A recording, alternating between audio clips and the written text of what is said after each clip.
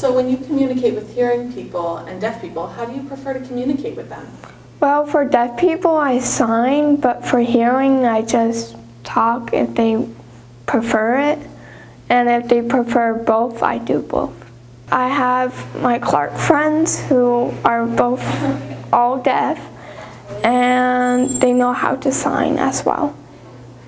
The one thing I want people to know about deaf culture is you don't have to know that much sign language to communicate. You just say your name and figure it out and you could always write it down. There's strategies to communicate.